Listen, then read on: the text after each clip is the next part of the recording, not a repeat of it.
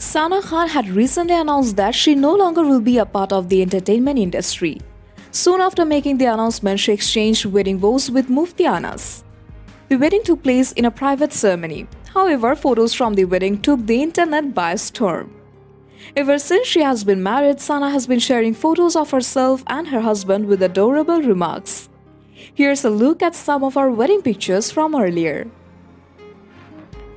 In a recent Instagram story, the couple had revealed that they're going for a vacation. In terms of airport looks, Sana was wearing a black burqa while Anas was wearing a white kurta pajama set. In the Instagram stories, the couple can be seen going all mushy. She had apparently captioned the photo as Shauhar and Begum Chale, followed by a heart emoji. Her husband too shared adorable pictures of themselves on his Insta stories. The couple also revealed that they are in Kashmir. In one of the stories, Sana can be seen appreciating the natural beauty, while Anas can be heard complaining about the harsh winter there. Meanwhile, the former actress announced the decision of quitting showbiz on October 8. She had shared a carousel of notes that were written in Hindi, English, and Urdu.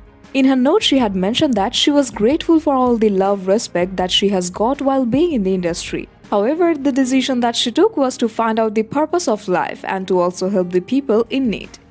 She captioned the post as, My happiest moment. May Allah help me and guide me in this journey. Many of her friends from the industry extended their good wishes and asked her to do whatever makes her the happiest.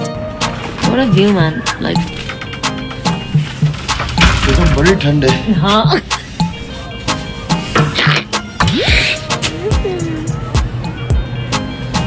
है huh? माशाल्लाह How beautiful. What a view, man. Like, ये तो बड़ी ठंड है huh?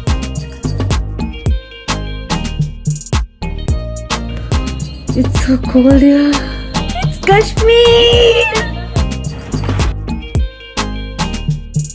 And uh, yes, and uh, all my Nasik uh, family of Face Spa, please contact her and buy all your products. Uh, so Asya is now a part of Face Spa and she is going to be retailing Face Spa products in Nasik and I'm so happy.